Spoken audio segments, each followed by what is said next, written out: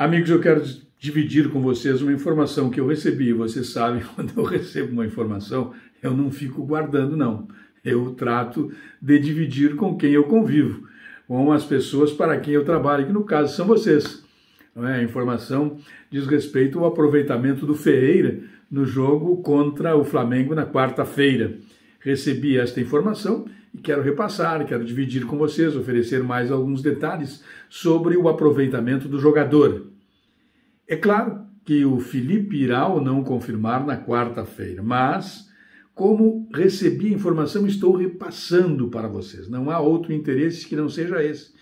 Vocês sabem, é, eu repito, sempre faço assim. Informação, quando chega para mim e eu percebo que tem fundamento a informação, eu trato de repartir com vocês, de dividir com vocês. Mas antes eu quero fazer aquele pedido para que você se inscreva no canal, deixe aquele joinha, ative o sininho, compartilhe o canal com os amigos, mande os seus frutos favoráveis, positivos aqui para o canal.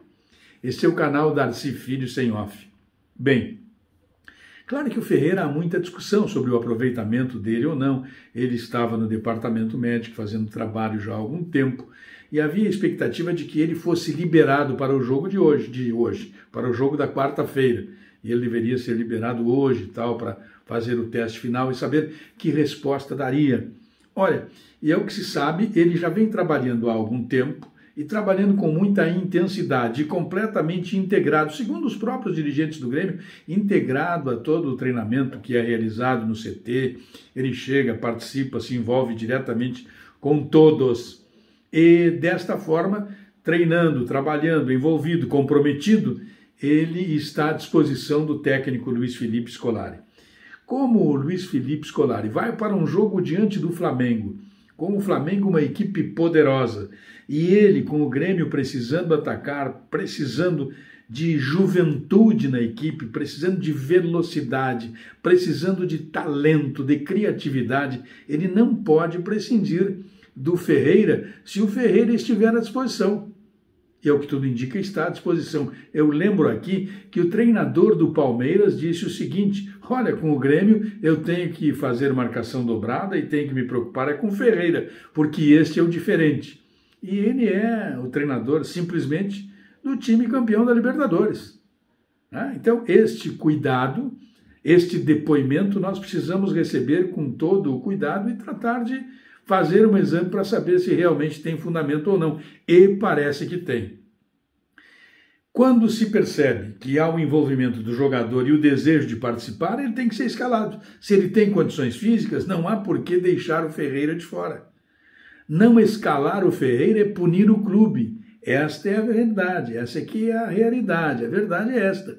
Não escalar o Ferreira, se ele tem condições, é punir o clube. E nós vimos aí, os torcedores estão registrando que viram na rede social, que assistiram a transmissão do último jogo pela televisão. Quem vibrou muito com o gol do Grêmio foi ele, ao lado do Maicon, ou os que mais vibraram. Então, está tudo colocado aí aos amigos. Esta é a informação que eu tenho e repasso. Ferreira joga contra o Flamengo. É um problema, não é para o Felipe, é um problema para o Renato resolver.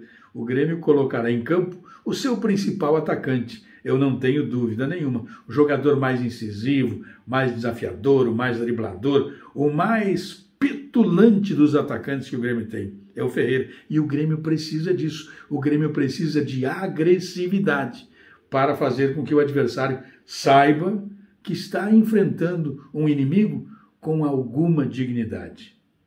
Um abraço.